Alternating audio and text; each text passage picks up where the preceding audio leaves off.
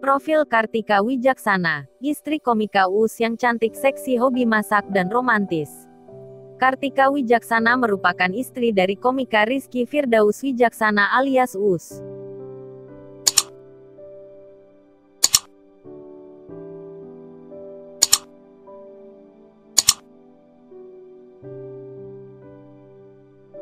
Sejak menikah pada tanggal 19 Maret tahun 2016, keduanya selalu tampak harmonis dan kerap membagikan momen romantis di Instagram masing-masing.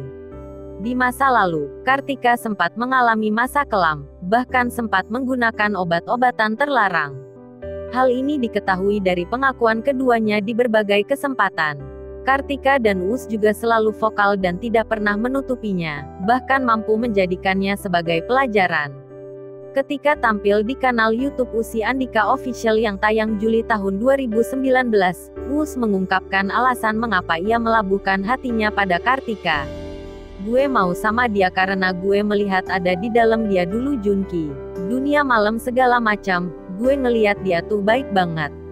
Ke keluarganya dia baik, maksudnya utang-utang keluarganya dia yang lunasin. Terus di lampu merah kan suka ada penjual bunga, sampai hafal mobilnya dia karena sering ngasih duit, tutur komika yang juga berprofesi sebagai youtuber tersebut. Kini keduanya hidup penuh kebahagiaan.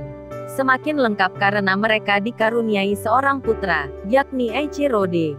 Leki number one Wijaksana yang lahir pada tanggal 9 September tahun 2016. Jika dilihat sepintas, sebagian orang mungkin tidak mengira bahwa Kartika merupakan seorang ibu. Pasalnya tubuhnya tetap terlihat ramping. Kartika juga selalu mengenakan outfit yang trendy sehingga terlihat awet muda.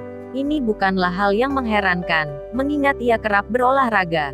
Warganet pun dibuat iri dengan body goals miliknya. Kartika ternyata juga gemar memasak. Di akun Instagram @kartikawijaksana, ia kerap membagikan menu masakan. Berbekal hobi ini, ia memulai bisnis kuliner yang diberi nama Tik Kitchen. Ibu satu anak ini ternyata juga sosok yang romantis. Untuk memperingati ulang tahun pernikahan yang kedua, Kartika merekam lagu berjudul "Kau dan Kesempatanmu" yang diunggah di kanal YouTube miliknya. Di kotak deskripsi, ia menulis, "Selamat ulang tahun pernikahan, suamiku."